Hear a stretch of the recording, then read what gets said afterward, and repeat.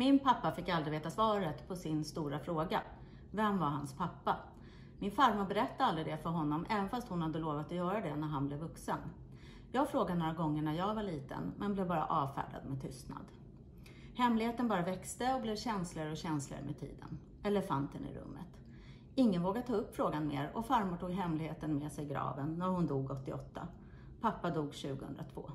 Mina föräldrar gjorde på 60-talet ett försök att ta reda på det, men fann då bara fader okänd och trodde då att det inte gick att komma vidare. Men jag har fortsatt på fundera på om det ändå kunde finnas någon möjlighet. 2013 började jag en släktforskningskurs med Marianne som lärare. Hon tipsade mig om att ta kontakt med Stockholms stadsarkiv för att få hjälp. De hjälpte mig att beställa min pappas barnavårdsakt som jag fick efter en sekretessprövning. Och där fanns svaret. Min farfar var finlandssvensk och hade skadats svårt i fortsättningskriget mot ryssarna och transporterats till Karolinska sjukhuset i Stockholm för vård. Och där jobbade min farmor. Pappa föddes i maj 45, men då hade farfar redan återvänt till Jakobstad där han var gift och hade fem barn. De träffades aldrig mer så vitt jag vet.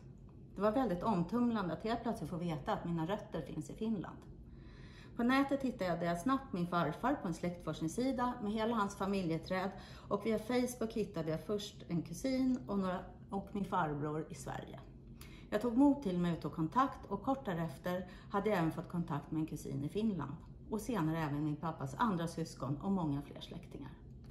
Jag har fått ett fantastiskt vänligt mottagande av allihop. De hade ingen aning om att min pappa existerade, men har bara varit positiva.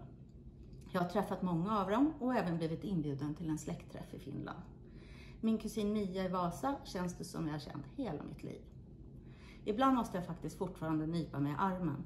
Att jag lyckades få svar på det jag också undrat över hela mitt liv och samtidigt ge min pappa Lars lite upprättelse.